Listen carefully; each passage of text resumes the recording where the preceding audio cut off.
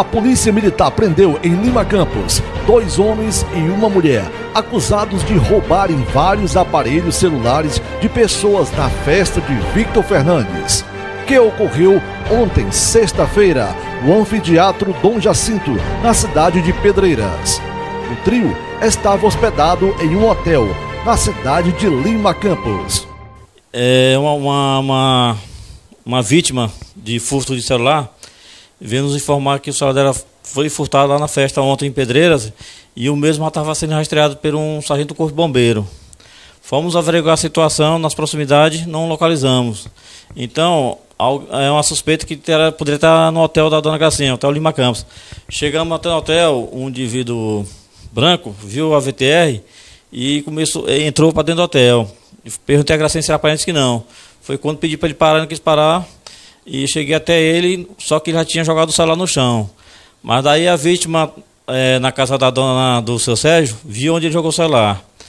E foi perguntado para ele se tinha mais alguém com ele. Ele informou que tinha. Estava dentro do apartamento, um casal.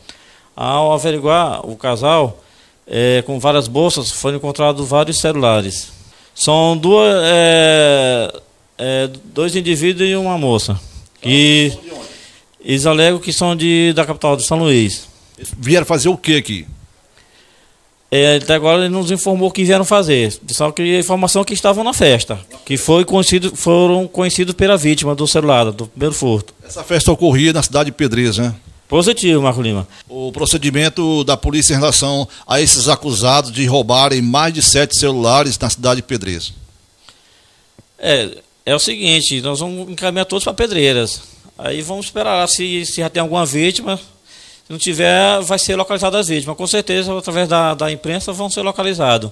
Quando eles souberem que, que esses caras tão, foram conduzidos para a 14 Delegacia Regional. Sargento, eles alegam que os aparelhos são dele, outros comprados, enfim, mas já temos uma vítima aqui né, na delegacia. Positivo, tem uma vítima, tem uma vítima na delegacia. Foi aqui, foi aqui informou para nós do aparelho que estava sendo rastreado. Sim.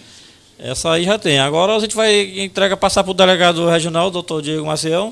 Essa situação agora é com eles, não é mais com nós. Não, eu estava na festa, aí quando eu olhei, minha bolsa estava aberta. Foi quando eu notei que, que tinha sumido o aparelho. Foi por volta das duas e pouco, três horas da manhã. E o sujeito apareceu como foi rapidinho perto de ti? Não, ele estava na nossa mesa, ele ficou lá, lá perto, falou com os meninos e tudo mais. Aí ainda me chamou para comprar cerveja comprar cerveja. Aí eu falei que não ia, depois que eu notei que o celular tinha sumido. Aí ele pegou, eu fui lá, lá fora, falei que ia na delegacia. Sim. Aí ele pagou ainda o, mototáxi de ida e volta para mim ir na delegacia. Quer dizer que ele teve a audácia ainda de querer pagar mototáxi para te levar para a delegacia para fazer acusação. Isso. Só que eu não sabia que era ele. Mas aí as meninas até falaram, né, que, que achava que tinha sido ele. Só que aí eu falei, não, acho que não foi ele não. Depois, quando eu cheguei em casa, aí que eu caiu a ficha. Caiu a ficha mesmo, na verdade, quando eu vi ele, né? Você reconhece ele? Reconheço. E estava lá na minha mesa. Esses outros você reconhece? Não, esse, esse de cá eu não reconheço não. Não. E nem a moça também? Moça também não. Ele... O que eu vi foi ele, que ele estava lá na nossa mesa ainda.